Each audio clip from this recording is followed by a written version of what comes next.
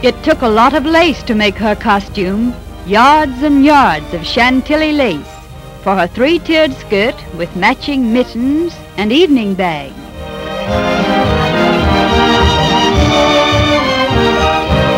With her evening gown, she wears a Spanish mantilla, traditional feminine headdress.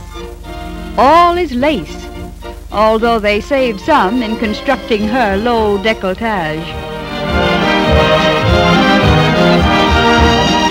Negligee style at the showing of fashions in Chantilly lace. At the Pierre, even her shoes are made of lace, although they have no laces. Well, you can't have everything.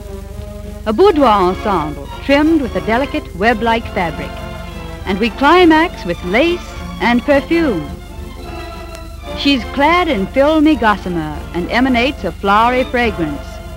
It's just too ravishing.